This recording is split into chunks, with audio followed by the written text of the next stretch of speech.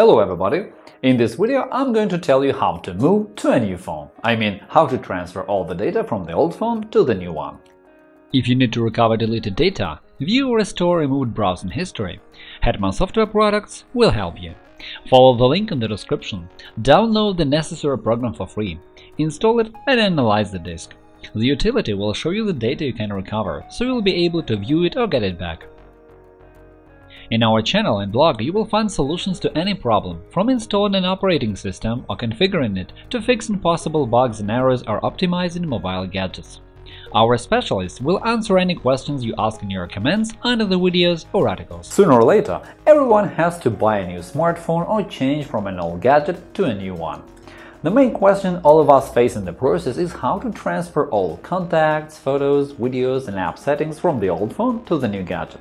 If you're looking for the answer, this is the right video to watch at the right time. Today, there are lots of ways to move data from one phone to another, and it's actually as simple so that it takes just a few steps. Even if your older phone is not a smartphone, never mind, as long as it has Bluetooth, everything will be hunky-dory. Now let's get down to business.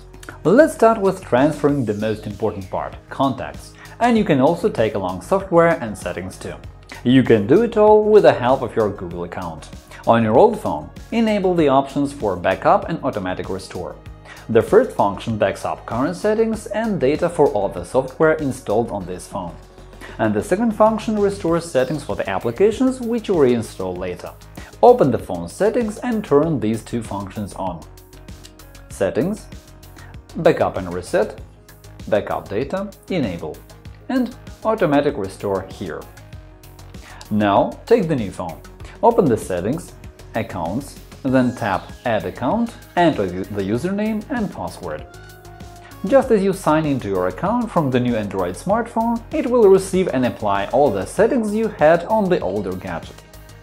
You can select what applications to restore, while other data to be transferred includes all phone book information, Gmail stuff and events in your calendar. Contacts can also be moved from one device to another using a SIM card and a memory card.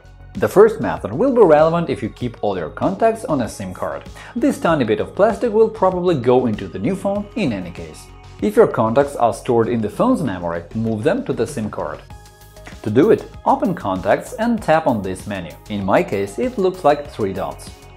In the menu, select Import, Export and specify where to export data select SIM card and agree.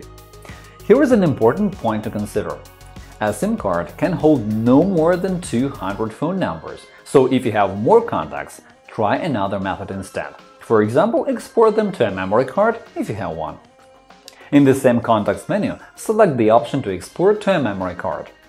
Now insert the memory card into the new phone, choose the option to import from the memory card and select the corresponding file.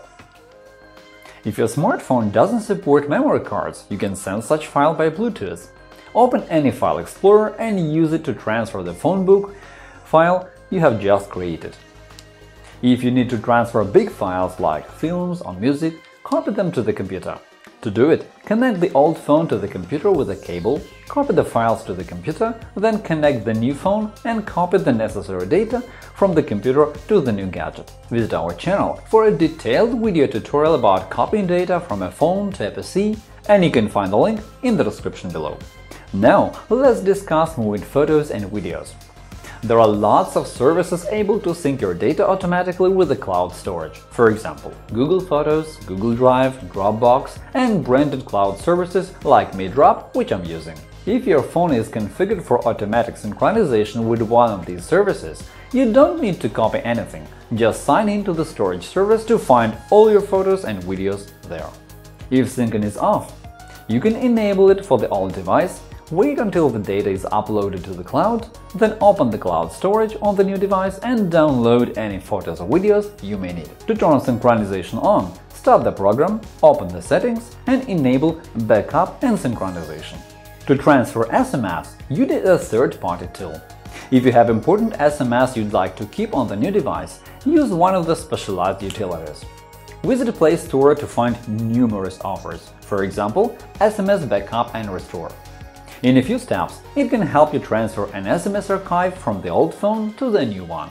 and do it in a matter of minutes. In addition, there are tons of third-party utilities to help you move any data from one phone to another.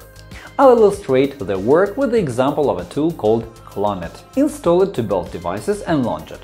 Then turn Wi-Fi on and tap to Send on the old phone and tap to Receive on the new phone.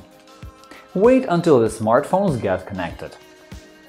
Select the files you need to send and tap the corresponding button to confirm your choice. With this tool, you can transfer contacts, call register, apps, SMS, photos and music, system settings, wallpapers, and more. When the transfer process is over, all the data will appear on the new phone.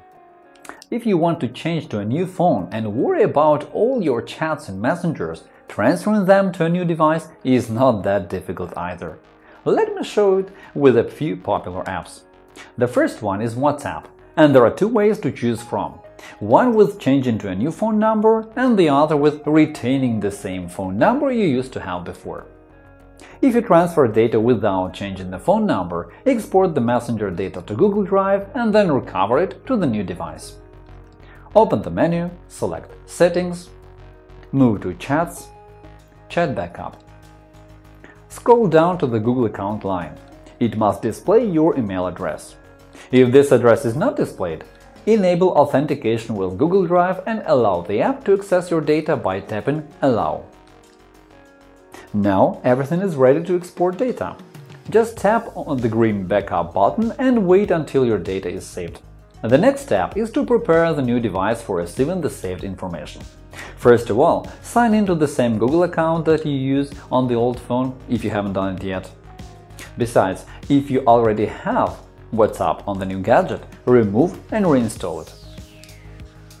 Now you can sign into WhatsApp using your phone number, which you didn't change. When asked to search for a backup and access contacts and files, touch Next and Allow. If you did everything right, there will be a notification that a backup was found. The last step is tapping the green button to recover data from this backup. In case you changed both the smartphone and the phone number, here is what you should do. In contrast with the previous variant, you should use the function Change Number before you back up your data to the cloud storage. On your old phone, start WhatsApp and open the section Account in the Settings menu. Select the line Change Number. You will see a form where you need to type the old and the new number.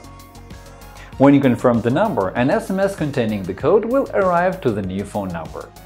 Type this code into the corresponding field on the old phone. That's all. Your number has been changed. Now just back up the messenger's data to transfer it to the new device. And this is something I have shown you a few minutes ago. In Viber, transferring chat history from one phone to another has become much easier than it used to be. Developers took much effort to ensure that moving to a new device doesn't mean losing all your chats. Open the Settings menu, Account, Viber Backup.